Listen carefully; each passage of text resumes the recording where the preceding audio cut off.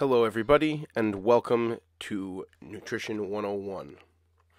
Today we're going to be discussing protein, which is the third macronutrient that provides calories, the first two being carbohydrates and lipids. The main difference between protein and the other macronutrients is that protein contains nitrogen as well as carbon, hydrogen, and oxygen, and the presence of this nitrogen allows protein to serve a very special function in biochemistry in which it acts as a information storage and transfer medium and gives instructions for your body to do various tasks or additionally uh, helps other reactions happen more quickly in the form of enzymes or hormones. Proteins are found in many foods, the most concentrated source being animal meat, but also things like dairy and eggs, as well as nuts and grains, all contain significant amounts of protein. And when you eat protein, it gets digested into smaller components called amino acids before it gets absorbed and then our body recombines them into things called peptides, which is a chain of amino acids, which eventually becomes either a enzyme or a protein or a hormone of some kind. And we remember from previous lectures that proteins contain 4 kilocalories per gram, and that you should consume about 10% of your calories from protein every day. Now, the protein serves a number of functions in our body. It can function as a growth mechanism as well as tissue repair and maintenance of body systems.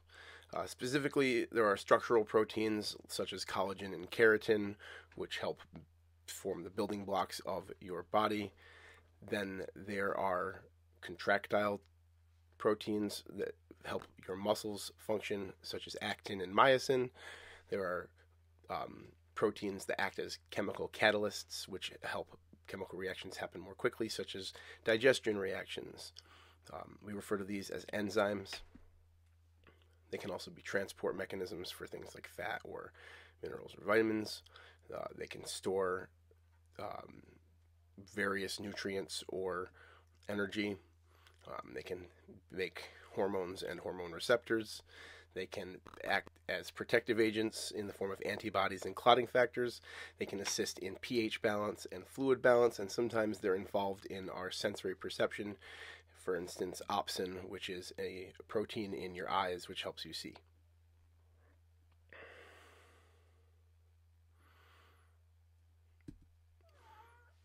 Now, proteins are digested beginning in the stomach when the enzyme pepsinogen is activated by hydrochloric acid into pepsin.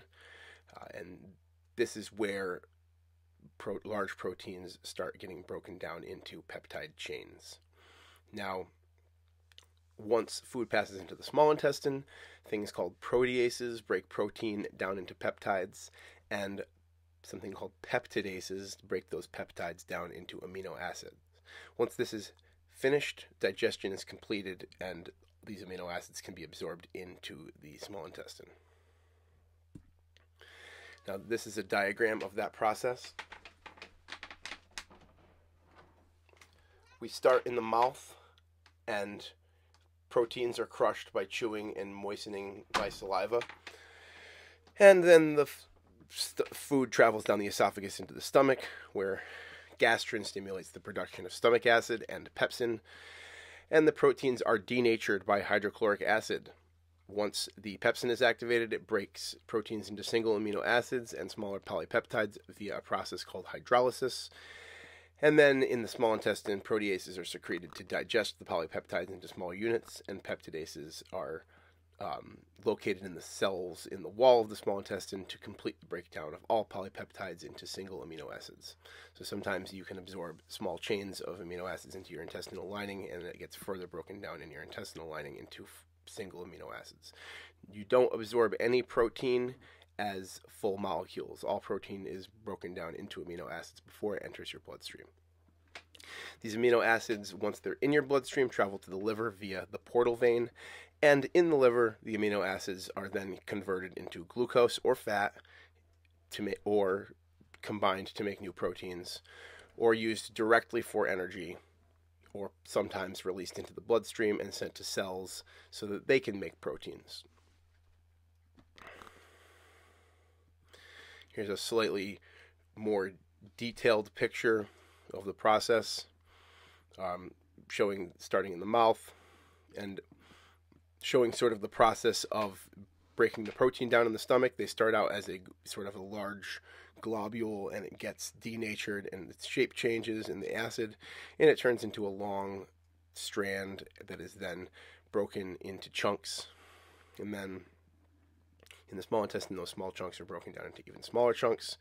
And as they pass into the enterocytes, they finish being broken down and they end up in your bloodstream.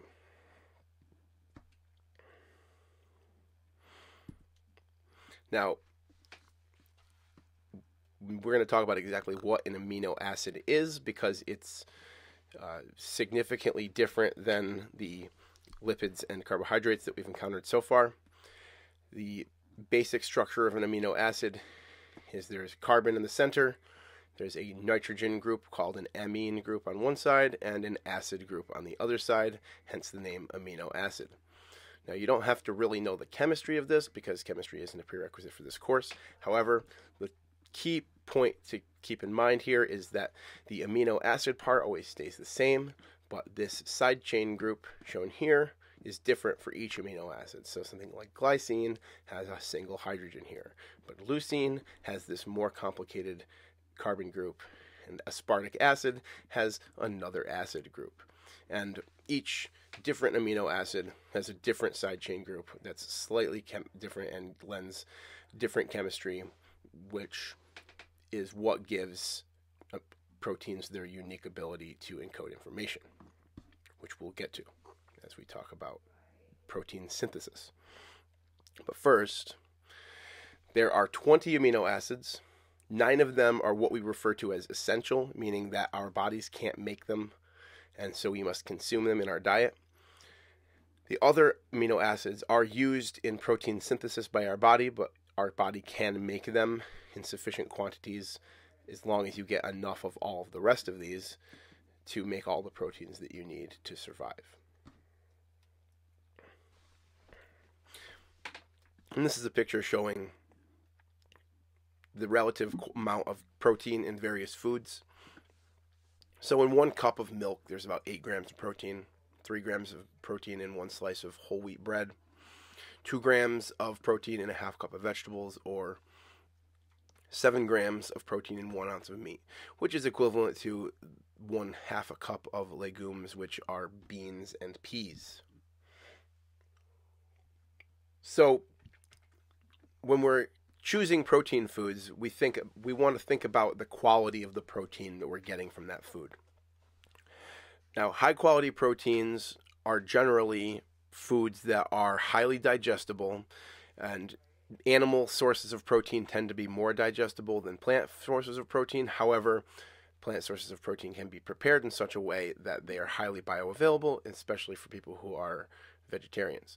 The other thing that determines protein quality is the amino acid composition of that protein, and specifically how much of what we call limiting amino acids are present in that protein food. So, obviously, in order for your body to be able to make all the proteins that it needs, you have to have all of the essential amino acids in your diet.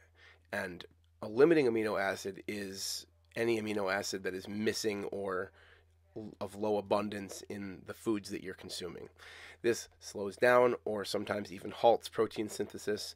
And another thing that hinders protein synthesis is when you don't eat enough calories. Um, because if you don't eat enough calories, then your body is forced to use protein for energy. And therefore it can't use the protein to make other proteins because you have to break down the protein irreparably in order to use it for energy. This brings us to a metric of protein digestibility, corrected amino acid score, which is a metric that lists uh, milk protein and egg whites as a having a reference value of one, meaning that eating them is a complete protein that you can survive on. And then things like soybean isolate are about 0.99. Beef is a 0.92. Interestingly enough, pea flour is a very highly um, bioavailable protein. And for this reason, recently a number of meatless uh, beef patties have come out using pea flour as their main protein source. Things like the Impossible Burger. Um, it's a good one. Also, other beans are fairly high in usable protein. Oats are quite high in protein. And things like lent- lentils and peanuts and whole wheat are also very high in protein.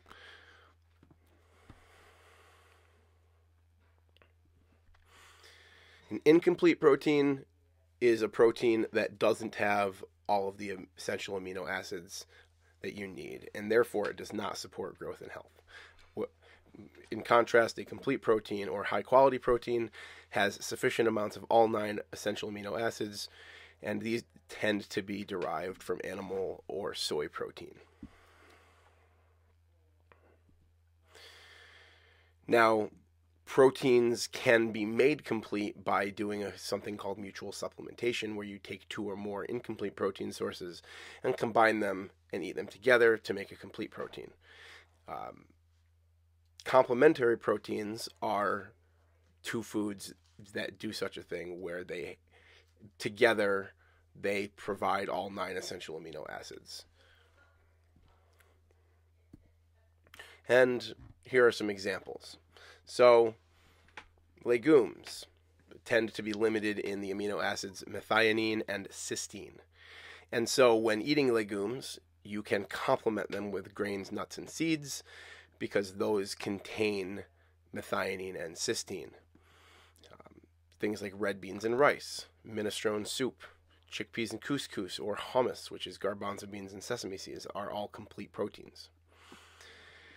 Grains are limited in lysine, so you eat legumes with them, and they which contain lysine, and that makes them into a complete protein. So peanut butter and bread is actually a complete protein.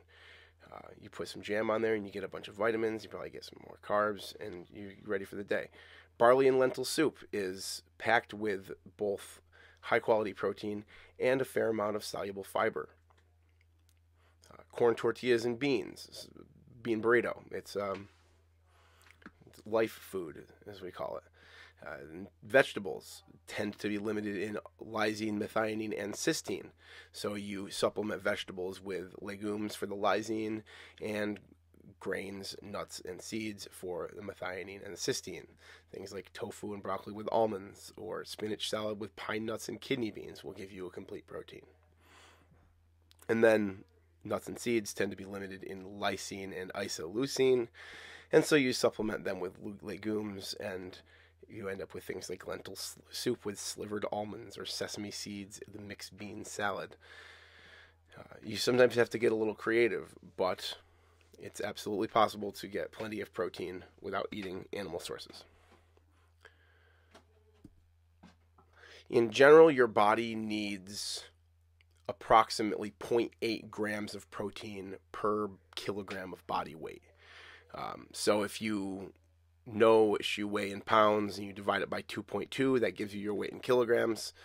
And you multiply that by 0.8 to get the grams of protein that you need. So, for instance, if you weigh 120 pounds, then you uh, if you divide 120 by 0.22 or by 2.2, you get uh, 54.5.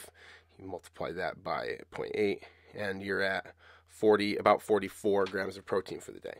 That's 120 pounds is a very little person, so most people need to be consuming a fair amount of protein every day.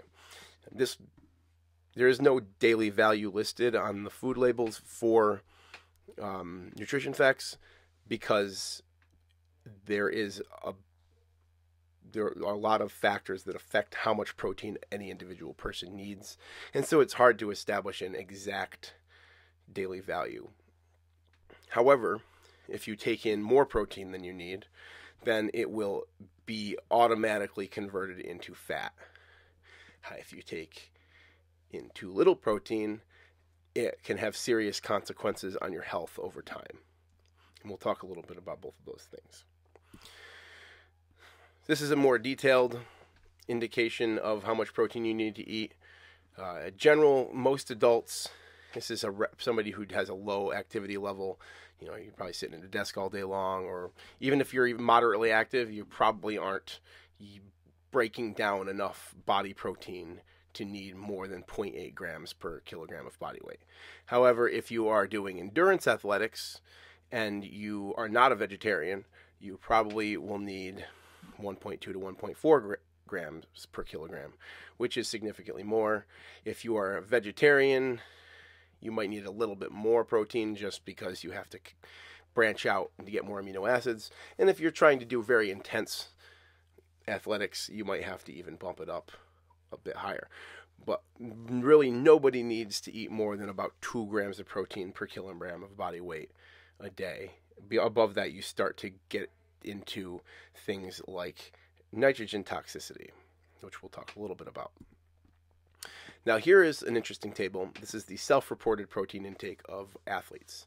So, this is people in doing these sports telling a nutritionist about their dietary choices and how much protein they're eating in a day.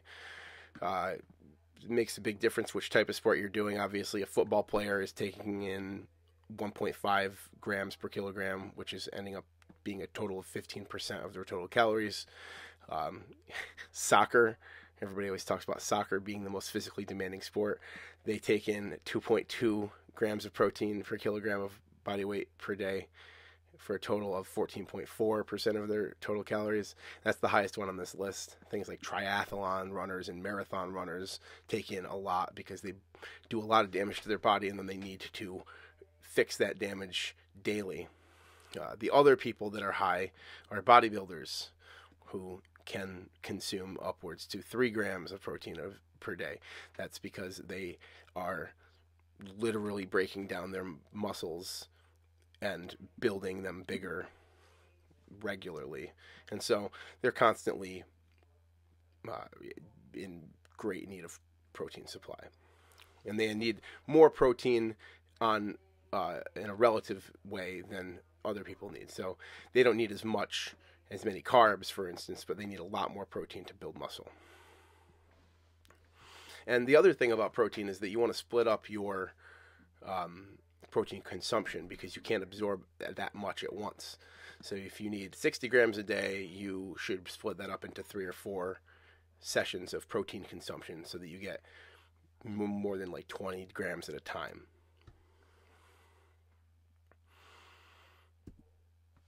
Here is a nice big old table showing the protein content of various foods. You can see beef is pretty high on the list here. 3.5 ounces has 24 grams of protein if it's lean. And something like top sirloin has 27 grams of protein, 0.3.5 ounce serving. And then you go down, um, poultry like chicken and turkey are very high. Some seafoods like tuna are pretty high. And then you get down into dairy and it starts to um, it's a liquid, so there's a lot of water in it, so there's not as much protein per unit weight. But when you get down into like the cheeses, like cottage cheese has 31 grams of protein per cup. That's something that you might consider if you're a vegetarian, eating a lot of cottage cheese or sometimes yogurt, but yogurt isn't even as high. Um, and soy products like tofu and tempeh have a decent amount of protein. A lot of beans. They don't have as much as meat, but you tend to eat more of them. They also have a decent amount of complex carbohydrates and soluble fiber in them, so they kind of get double double duty. And then nuts, in addition to being a good source of a wide variety of protein and amino acids, they can be a good source of polyunsaturated fats and essential fatty acids.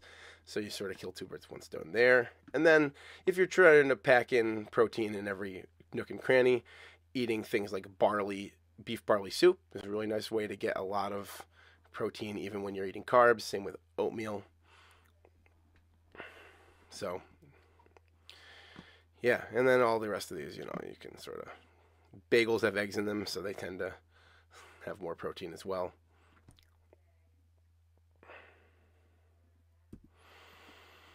So now we've talked a bit about getting protein into your body, but now what do you do when you have it? So we call it that process protein metabolism. This is either when you use amino acids to make other compounds like neurotransmitters, hormones, other amino acids or proteins, or when you use amino acids to produce energy or to store as fat or to make glucose to then make energy. So the first thing that you can do with an amino acid is you can do something called transamination, where you turn one amino acid into another amino acid. And typically you do this with to by taking an essential amino acid and making a non-essential amino acid, which is what makes the non-essential amino acid non-essential, the fact that you can make it from anything else.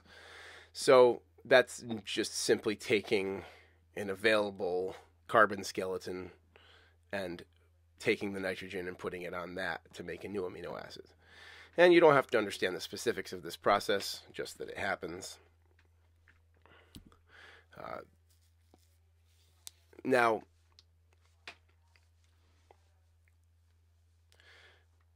real quick, we should probably define a couple terms. So, I mentioned denaturing before and the fact that hydrochloric acid denatures proteins. But what does denaturing actually mean? This is when proteins are subjected to heat, acid, agitation, or other factors that disturb their structure and stability. And this means that they lose their shape and consequently their ability to function as proteins. We have to do this to allow ourselves to digest them, which is why we can't absorb complete proteins into our bodies. Uh, however, we also want this process not to happen in our bodies because when it does happen, it causes us to have poor health because our proteins stop working. Um, the uh, another process that we go through during protein metabolism is something called deamination, which is where we chop the the nitrogen group off of the amino acid and turn it into energy. So, know about denaturation again. So proteins will uncoil when they're denatured. Uh, when you good example of protein denaturation that you probably know very well is cooking an egg. You notice how the egg white goes from being clear and viscous liquid to being a floppy white solid.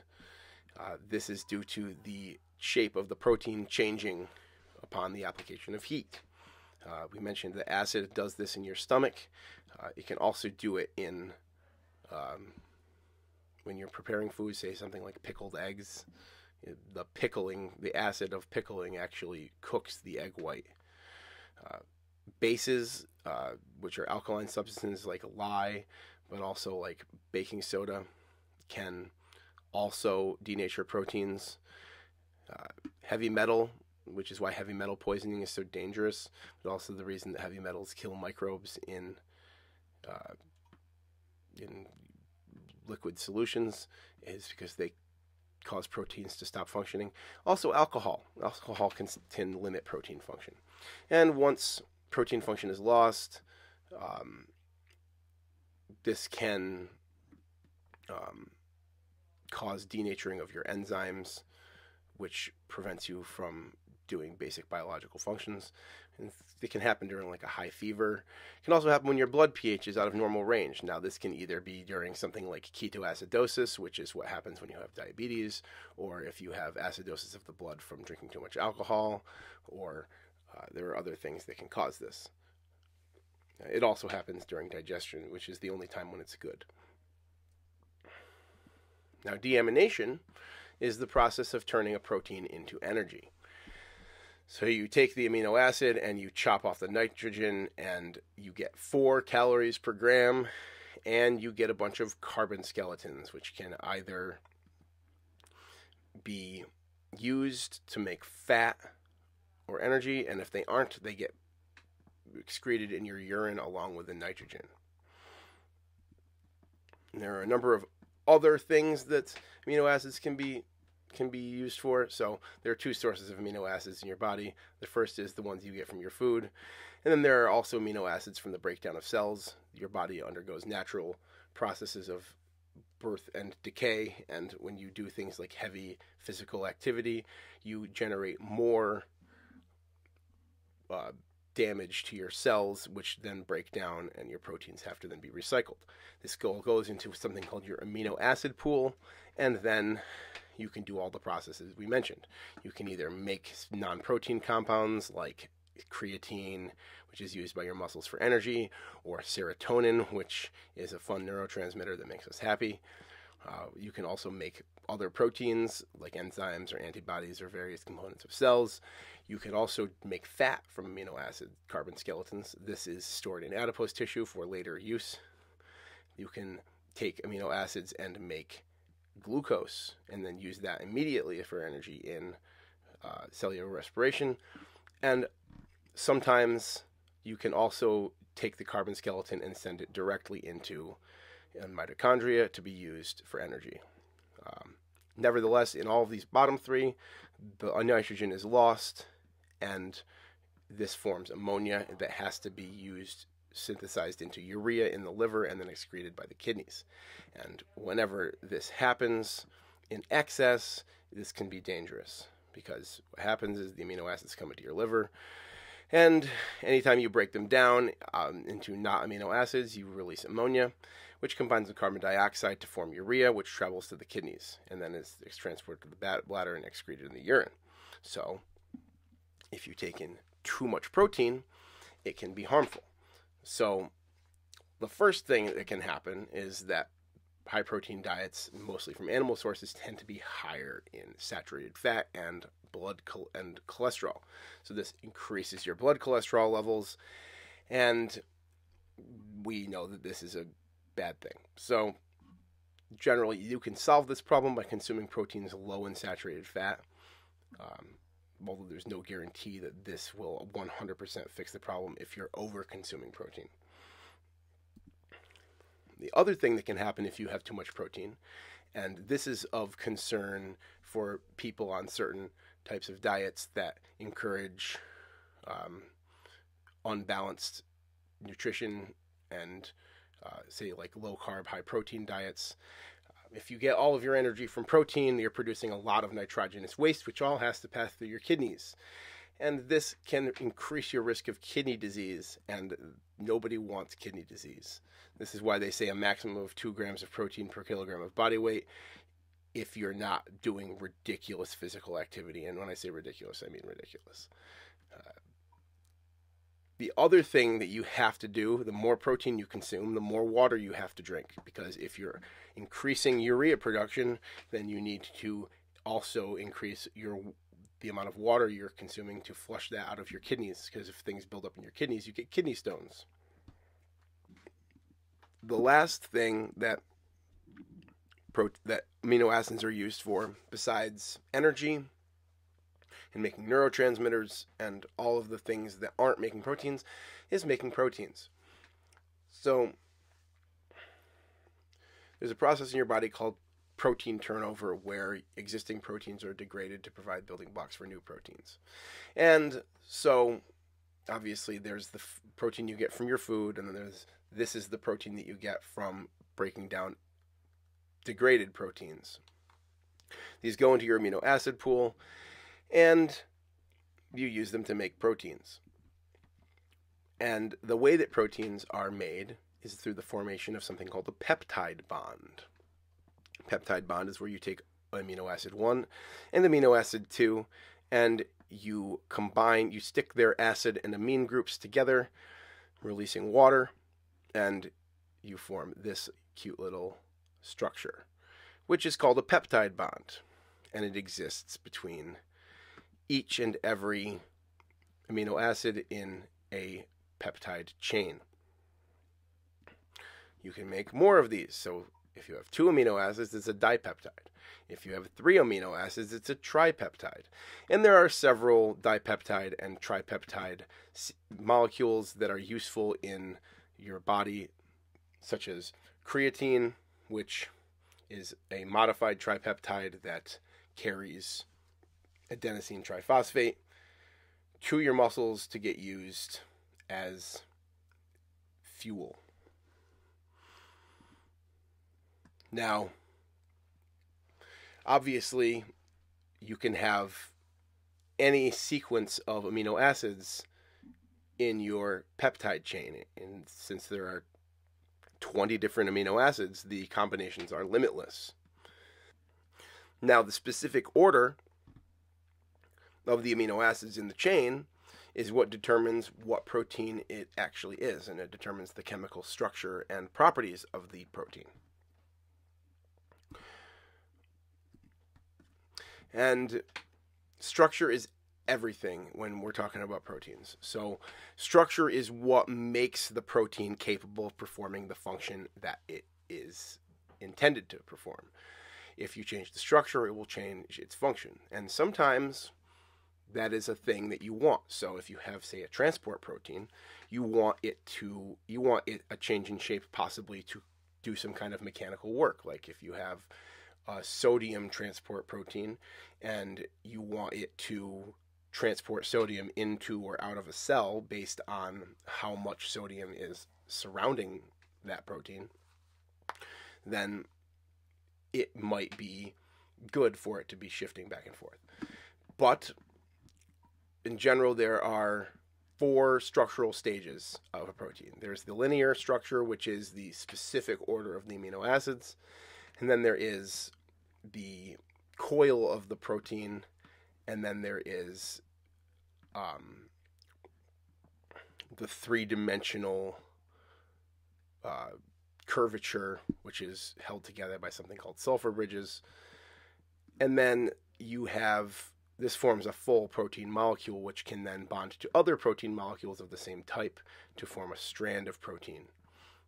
So we'll take a look at that. And this biology is um, quite involved, and you don't need to know the the rigorous specifics of everything that's happening here, but it is good to understand how this process occurs and what what the even reason to consume this nutrient is. It's very very important. So in the primary structure is the sequential order of the amino acids. The secondary structure is the spiral shape, which occurs due to repulsion between the different side chain groups on the amino acids. The three dimensional shape is maintained by um, electrostatic interactions and the disulfide bridges, which I which is what determines the protein's actual function. And then sometimes there's these these um, proteins will bond together to make larger proteins, which is something like hemoglobin, for instance or a muscle fiber. And again, this is not something you have to know all the specifics of, but proteins are made when your DNA gets transcribed by RNA. And so you your DNA unwinds inside the nucleus of your cell. It contains genetic code which the mRNA picks up.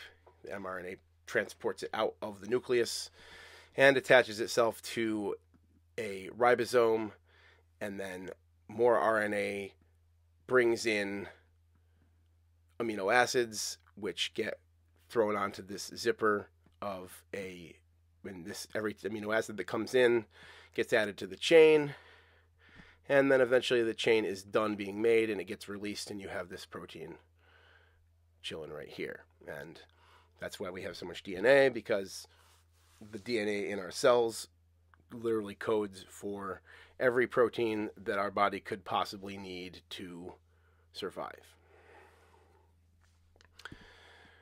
So here is an illustration of the coil structure of a strand of a amino acid. So you have the amino acids in their linear order that goes around And then the forces between these side chain groups force it into specific curvature, which is shown here by the ribbon. And this has a kind of a spring like shape that's held together by electrostatic repulsion. Now, obviously, it's not just going to spiral in one or two dimensions, but it's going to coil and fold around itself.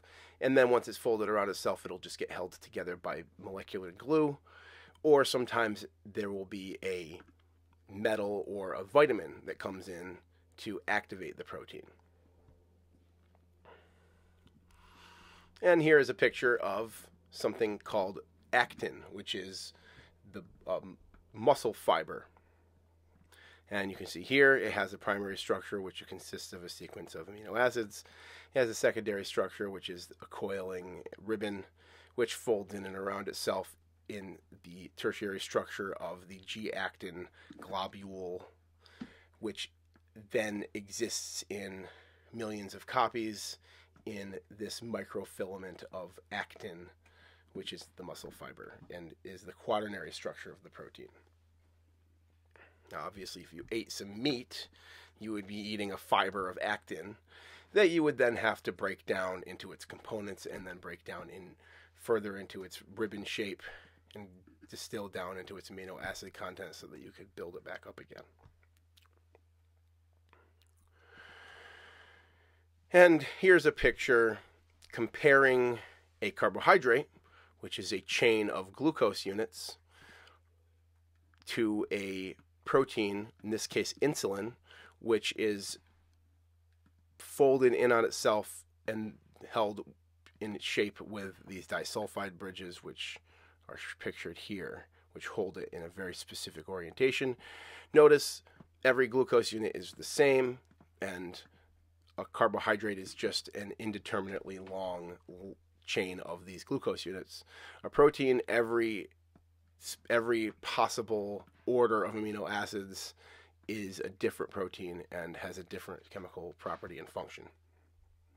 And therefore, proteins are significantly more complicated than carbohydrates. Here is a picture of hemoglobin. So, hemoglobin is actually made up of four different polypeptide chains, all of them containing something called a heme group, which is a molecular plate that has iron at the center of it. Uh, and this is the protein structure that transports oxygen from your lungs through your cardiovascular system to your cells for them to undergo respiration. Here's another picture, um, which has a cartoon picture and then a picture of red blood cells. And sometimes people have genetic issues because DNA codes for all the proteins in your body. It means that one of them encodes for hemoglobin. Some people have an issue with this DNA section and it causes them to make abnormally shaped or sickle shaped blood cells.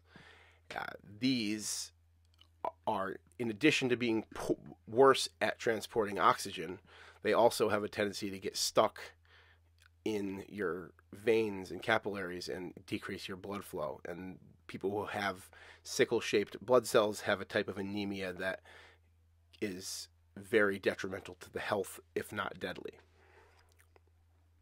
Anemia is when you have an iron deficiency.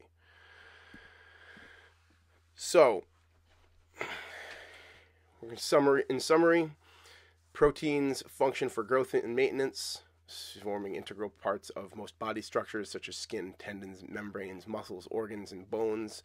As such, they support the growth and repair of body tissues. In addition, enzyme proteins as enzymes facilitate chemical reactions like the digestion of your food and others. Hormones are made um, from or by proteins and they also they help regulate your body processes. Um, proteins also make the receptors for hormones. Proteins are antibodies, which help inactivate foreign invaders, which protect you against disease. They help maintain fluid and electrolyte balance, which is what we're going to talk about next in this class. um, which is essential for proper body chemistry, is keeping the fluid balance steady. Uh, the acid base balance is a little bit more complicated, but p- proteins act as buffers in your blood, keeping your the blood pH in a very specific range. Because as you can imagine, if proteins are sensitive to the acidity or basicity of a, of your blood, then a slight change in pH can severely affect your body function. Proteins also transport substances like lipids, vitamins, minerals, and oxygen throughout the body, and they also provide energy in times of crisis. Um, here are some examples of hormones. Uh, growth hormone, which, as you can imagine, promotes growth, insulin and glucagon, which are complementary hormones that regulate your blood glucose, thyroxine, which is a thyroid hormone, which is very important in your meta, regulating your metabolic rate. We, we, when we talk about cellular respiration, we'll also talk about the various metabolic processes that happen in your body and get into a little bit of the nuts and bolts of that. Uh, calcitonin and parathormone, which help regulate your blood calcium. It's another very important metabolic process. And uh, antidiuretic hormone, which helps regulate your fluid and electrolyte balance. And as we always remember, hormones are chemical messengers that are secreted by the endocrine glands in response to altered conditions of the body. And they travel to target tissues or organs and elicit specific responses. Uh, there's a number of a bunch of good information about this in the OER textbook that I posted on the Blackboard and on Classroom, which is a PDF of a nutrition textbook from the University of Hawaii. And it has every topic that we're going to cover in this class and more. So if you're looking to brush up on your biology or if you're just looking for a supplement to what you're learning in class, it's a nice one. Also, if you just like information and having things, uh, I would download it and give it to all your friends. So, here is a diagram of how an enzyme functions. So, you start with an enzyme, it has a specific shape, and usually it is tailored for a very specific purpose. So it's shaped in such a way that two compounds can come in and live next to each other for long enough for them to form a bond with one another. And then they get released as a new compound. And in the process, the enzyme has not been changed or has been changed so insignificantly that it can easily continue doing this many, many times. Now, here's a transport protein. So I mentioned sodium before. Sodium potassium balance is of great importance in fluid electrolyte balance as well as in neurosignaling. Uh, the way that you maintain your potassium and sodium balance is you have transport proteins in the cell membrane of your cells, and there's liquid outside the cell and there's liquid inside the cell the in order to transport sodium from inside the cell to the outside the cell, the sodium comes up. It finds the transport protein has been opened by the fact that it senses a high sodium concentration. So the sodium ion moves into the transport protein, and then the transport protein sees that there's sodium in there, so it changes its shape and it opens up to the outside, and the sodium gets released. And now the sodium concentration is higher outside the cell than inside the cell, which is important. The same can happen if you need more potassium inside the cell the a different transport protein for potassium notices that the potassium concentration is high outside the cell and low inside the cell. So it changes its shape so that a potassium can fly in here, get stuck, and then get spit out on the inside. Now, there's obviously fluid in a number of different places inside your body. There's fluid inside the nucleus. There's fluid inside the cell outside the nucleus. There's also fluid between the cells, and there's fluid inside your blood vessels. So, all of these different places have to have the proper fluid balance between them. Otherwise, you can develop dehydration or high blood pressure. And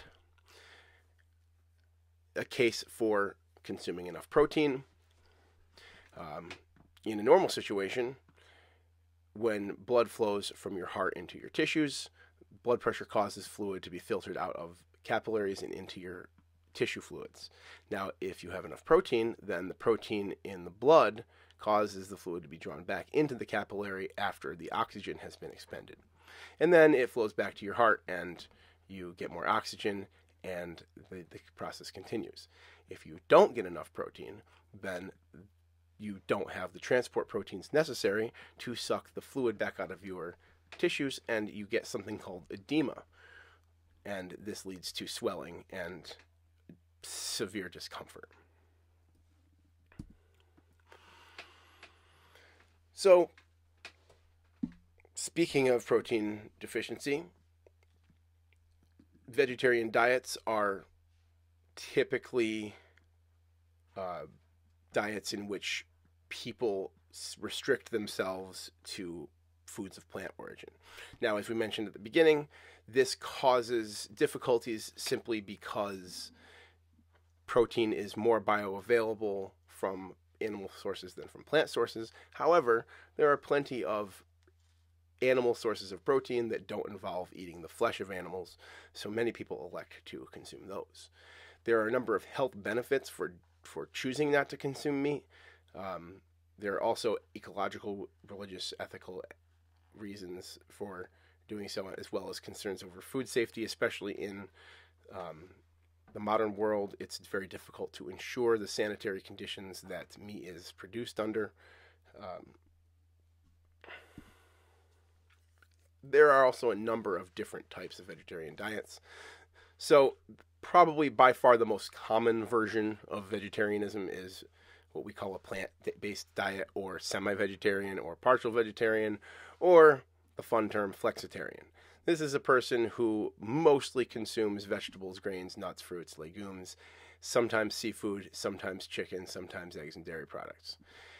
And they tend to exclude or limit red meat, but may also avoid or limit other meats. A slightly more strict version of this is something called a pesco vegetarian, which is like a semi vegetarian but excludes all red meat and poultry but still eats fish and seafood. And then there's the lacto ovo vegetarian, where you eat no animal flesh at all, but still consume dairy and eggs.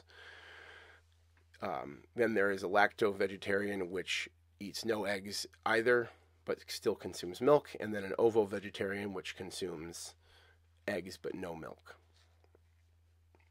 Then there are vegan, also known as a strict vegetarian, which consumes only plant based foods the thing about a vegan diet is that it's it may not provide adequate vitamin B12, zinc, iron, or calcium, in which case that person will need to supplement those things.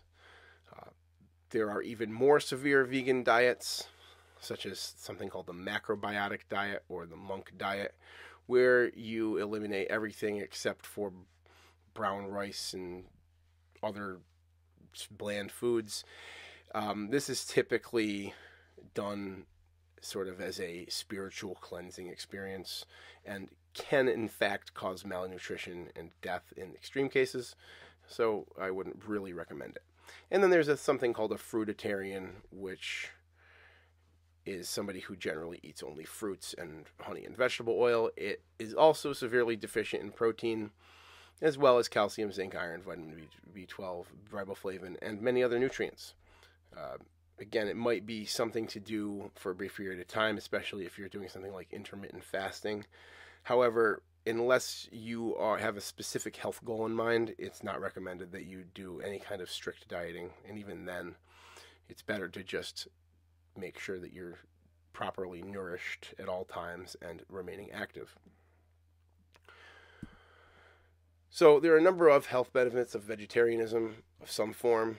Generally, they consume lower fat and lower total calories, and many Americans specifically eat too much fat and too many calories. Um, the presence of less fat and generally more soluble and insoluble fiber leads to low blood pressure, um, generally reduced risk of heart disease, fewer digestive problems, reduced risk of some cancers because of the lower amounts of inflammation, and reduced risk of kidney disease, kidney stones, and gallstones. All great benefits. Now, there are also challenges. So, vegetarian diets can be low in some nutrients, although they don't have to be. Uh, vegetarian diets can also be associated with disordered eating. So, some people become vegetarians because they find out something about meat that they didn't know before, or they have some kind of anxiety about consuming meat. And so they stop consuming meat, but they don't replace it with new sources of protein and vitamins. And so they end up becoming malnourished. Uh, something that we used to say in college. Somebody starts being a carbitarian, where you live out of a vending machine eating chips and crackers all the time. The easiest way to to do this is to start eating soy, but soy can um, have its own issues. Uh, also, complementary proteins like red beans and rice is a good one to do because it's fairly um, mild and easy to obtain.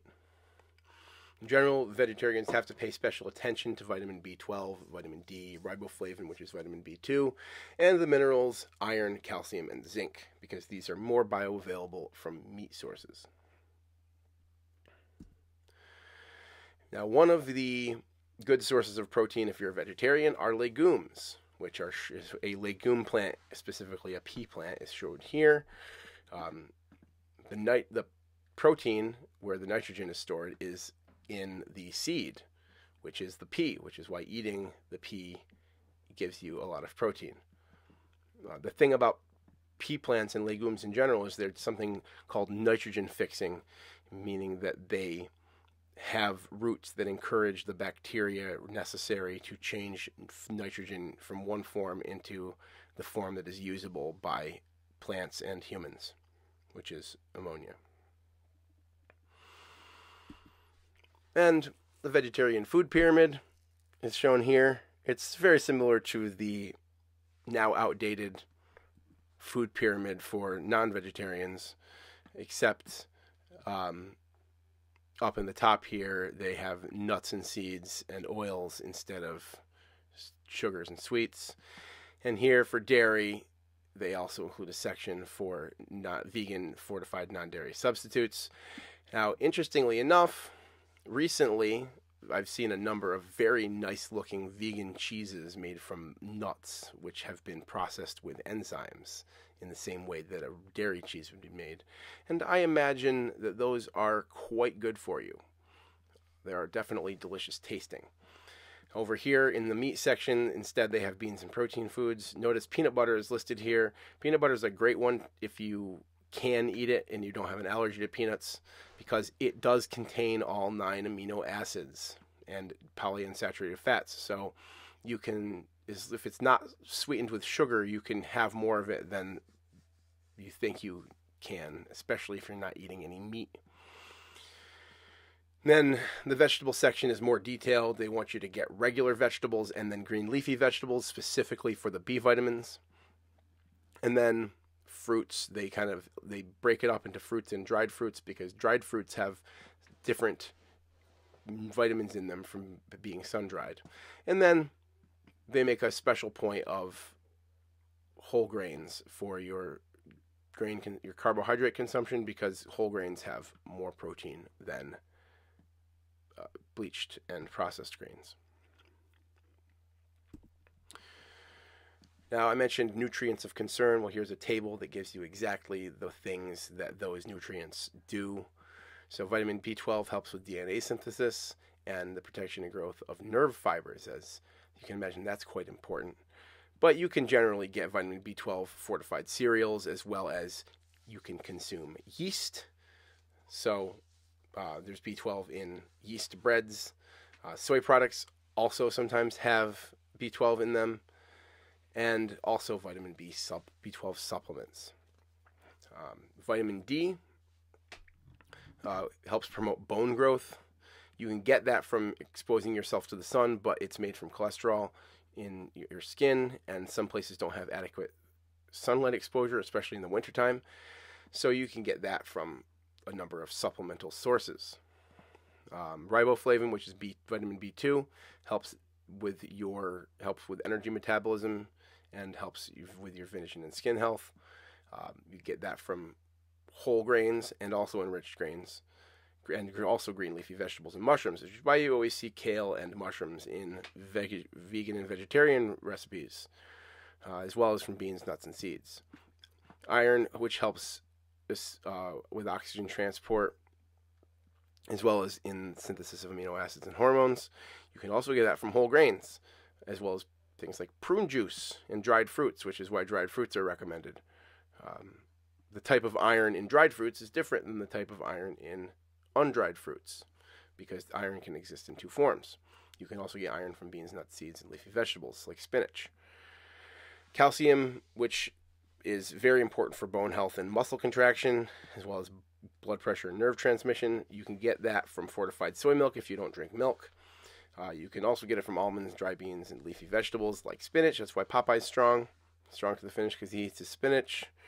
Um, and they also fortify breakfast cereals with calcium a lot of the time.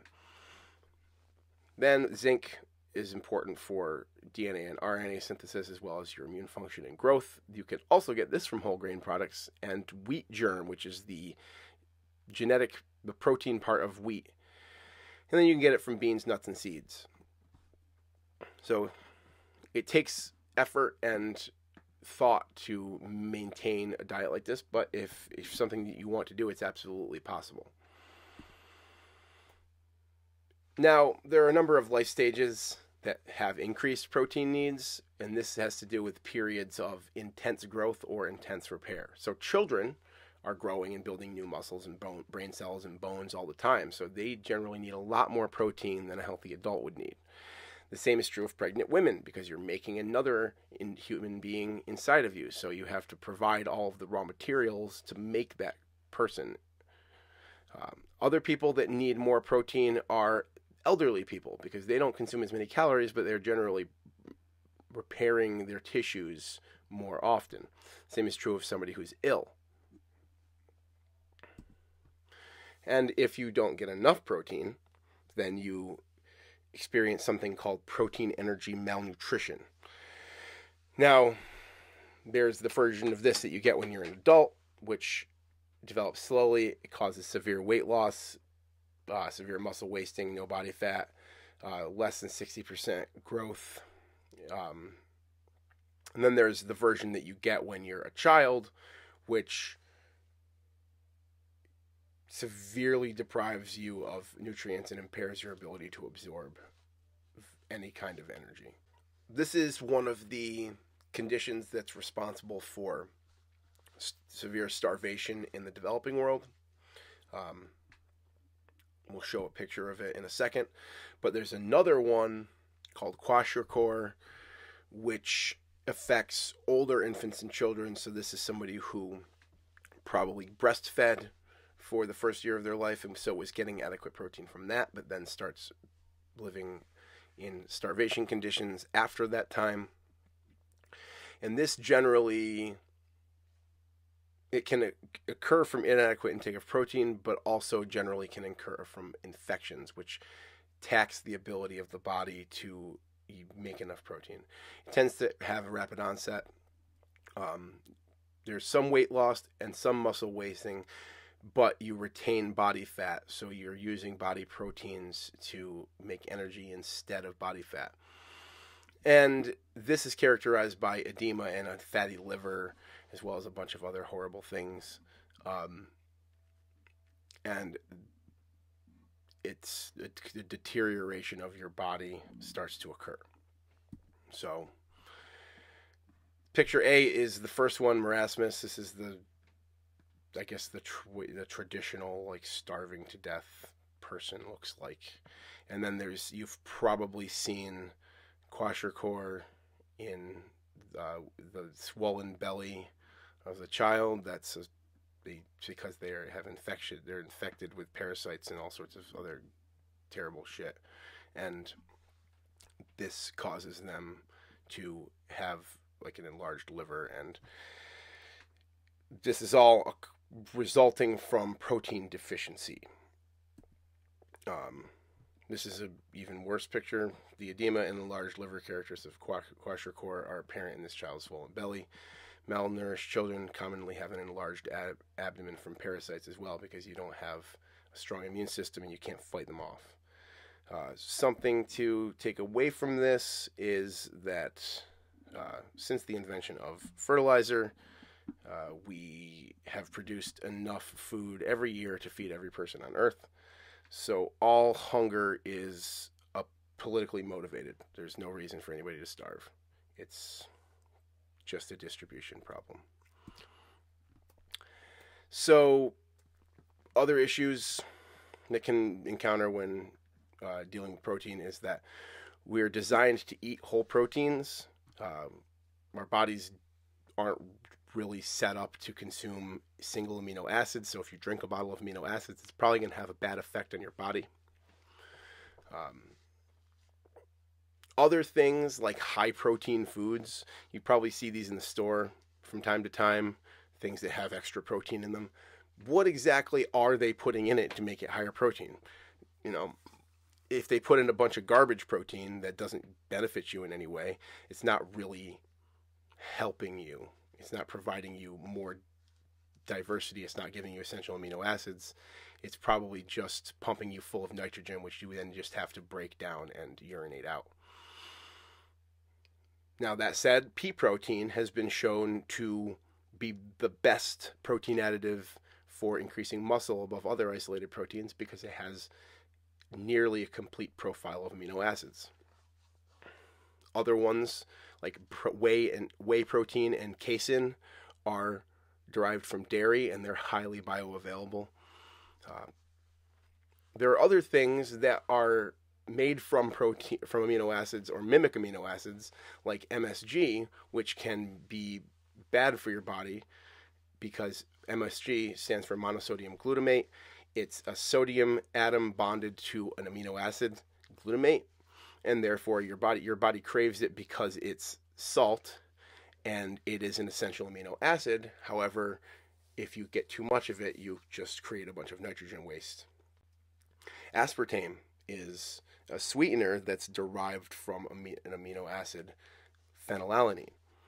And um, so, if your body has issues with phenylalanine, then you can actually have issues with aspartame. Um, and then I just mentioned amino acid supplements. You should probably avoid those because, first of all, they're usually derived from bovine organs, and that's just weird. But also, your body really isn't designed to absorb them directly without digesting them first, so they can sometimes cause toxicity in your body. And one last thing um, the most recent findings are I mentioned this earlier that you want to spread your protein intake out throughout the day. Um, if you're active, 1.2 grams per kilogram of body weight is more than enough if you divide that by three or five, this uh, this depends on whether you like to have three meals or have three meals and two snacks. Um, but if you split your 90, say you need 90 grams of protein per day, you can have 30 grams at each meal. Or if you snack, you can split that up further because you can't really absorb much more than about 30 grams at a time. So it's a waste of time and energy and resources to eat a bunch of protein at once. And uh, that concludes our discussion of protein. Thanks for tuning in, and I hope you're finding this information all very useful.